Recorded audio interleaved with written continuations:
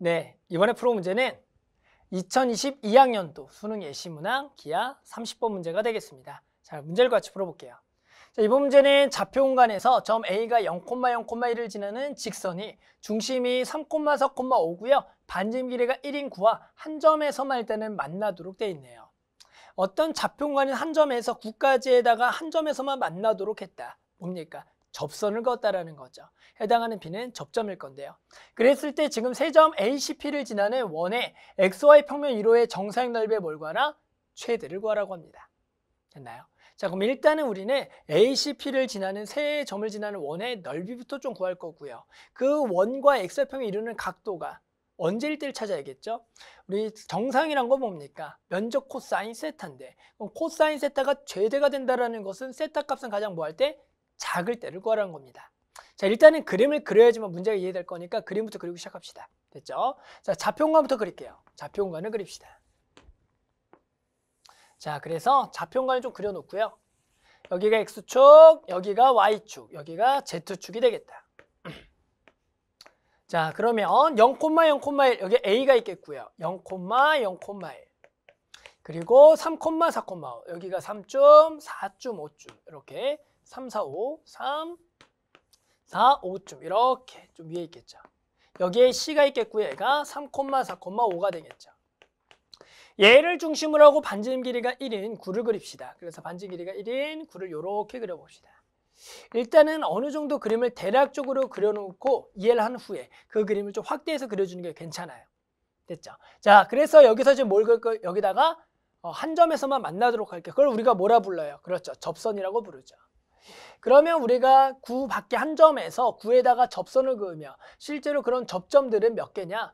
하나, 두 개, 그게 아니라 그런 접점들을 모아오면 뭐가 된다고요? 그렇죠. 원이 된다라고 우리는 알 수가 있습니다. 됐나요? 그랬을 때 우리는 그런 한 점과 요 세 점을 지나는 뭘 구할 거다? 삼각형의 아, 이 삼각형을 지나는 뭘 구할 거야? 원의 넓이를 먼저 구해야겠네요. 그러니까 우리 세 점을 지나는 원의 넓이 어떻게 구할까요? 얘는 특징이 있죠. 그렇죠. 여기가 직각입니다. 결국에는 얘는 직각삼각형에 외접하는 원의 넓이를 구하는 거죠. 우리 직각삼각형에 외접하는 넓이 어떻게 구하죠? 직각삼각형이 있으면. 아, 그렇죠. 요 A와 C를 뭘로 하는? 그렇죠. 지름으로 하는 뭘 그리면 돼요? 원을 그린다면 결국에는 이게 세 점을 지나는 원의 넓이가 되겠네요. 직각삼각형일 때만 가능하죠. 그러니까 결국 이 원의 지름은 뭔다? AC의 길이가 되겠다. AC 길이 구해보면 간단하죠? 루트에 9 더하기 16 더하기 16이니까 얼마? 루트 41이 되겠네요. 자 그럼 일단은 이 세 점을 지나는 원의 넓이는 간단히 구할 수가 있겠네요. 넓이는 파이 r 제곱 얘가 지름이니까 절반 2분의 루트 41의 제곱이 되겠다. 그래서 4분의 41 파이가 되겠네요. 됐나요? 여기까지는 우리 학생분들이 할 수가 있어야죠. 그 다음에 이제 우리가 고민해야 될 건 뭡니까? 그렇죠. 이런 점 P라는 게 하나는 아니지만 이런 위치 관계는 계속 똑같으니까 이런 원의 넓이로 가되 그 원과 XY 평면이 이루는 각도가 가장 뭐할 때? 작을 때 해당하는 코사인 세타를 구해야 됩니다. 됐나요? 자, 그러면 어떻게 이해를 할까요? 우리는 일단은 상황적으로 보면 이 P가 움직임에 따라서 그 세 점을 지나는 원이 결국에 XY 평면을 이루는 각도가 달라질 거다라는 생각이 일단은 첫 번째 들어야겠고요. 우리는 지금 각도가 가장 작을 때를 구해야 되는데 각도가 가장 클 때도 한번 생각을 해보세요. 각도가 가장 클 때는 어떻게 될까요? 보이시나요?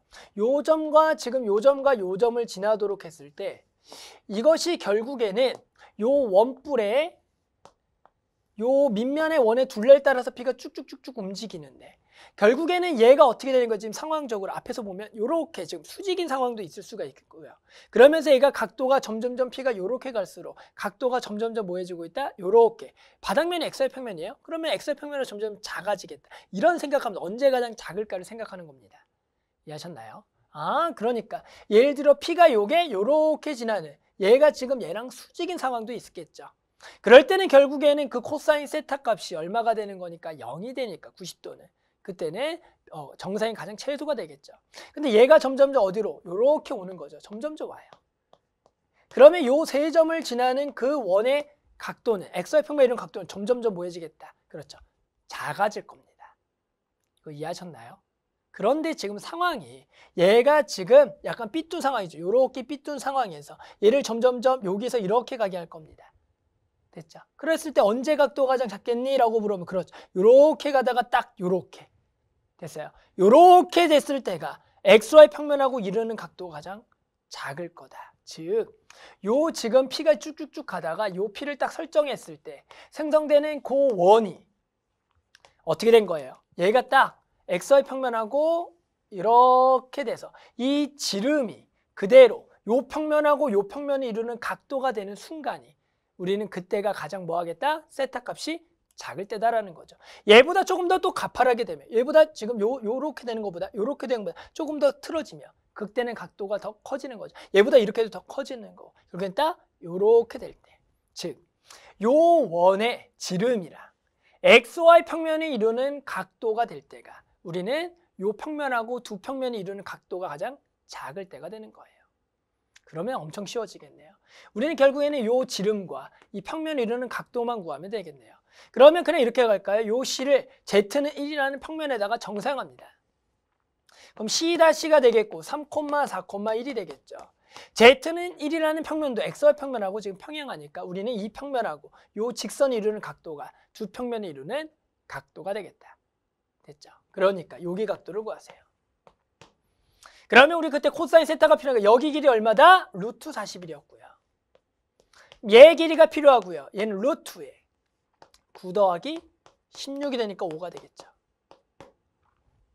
됐죠? 그래서 우리는 요 루트 41분의 5가 코사인 세타가 뭐가 될 때다? 최대가 될 때가 되네요. 됐나요? 자, 그러면 이제 끝났네요. 우리가 구하려는 정사영의 넓이라는 것은 4분의 S 다시 4분의 41파이 코사인 세타인데 그때 코사인 세타가 얼마다? 루트 41분의 5가 되겠다. 그러니까 지워져서 4분의 5 루트 41 파이가 되겠다. 됐죠?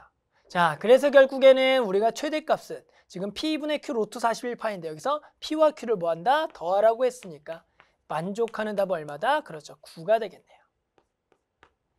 됐죠? 자, 이게 지금 우리가 예시문항 기하 30번 문제입니다. 기에서 가장 어렵다는 문제인데요. 실제로 이제 좌표, 공간 좌표 문제가 나왔어요. 그래서 우리가 이 문제를 풀기 위해서 알아야 될 조건들이 뭡니까? 결국에는 한 점에서부터 구에다가 저, 근, 그런 접선들의 모임, 접점들의 모임이 하나 원으로 만들어지는데 우리는 그 세 점을 지나는 원의 넓이라는 것보다 직각삼각형의 외접원의 넓이가 되겠고요. 그 다음에 그런 피들이 움직였을 때 우리는 그 세 점을 지나는 원과 XY 평면이 있는 각도가 언제 가장 작고 크겠냐 이것을 생각을 해봐야겠다라는 거죠. 그랬더니 선생님 어떻게 했습니까? 지금 해당하는 피점들을 움직이다가 그런 각도가 가장 클 때는 됐어요? 그 세 점을 지나는 원의 지름이라 결국에는 XY 평면이 이루는 각도가 두 면이 이루는 각도가 될 때가 가장 작겠다라는 거죠. 그거보다 조금씩만 틀어진다면 이 세타 값은 더 뭐해지니까 커지니까 코사인 값은 작아진다는 생각하에 그때가 가장 크다라고 해서 답을 구했습니다. 됐죠? 자, 그래서 만족한다 얼마다? 9다. 이렇게 답을 구할 수가 있겠습니다.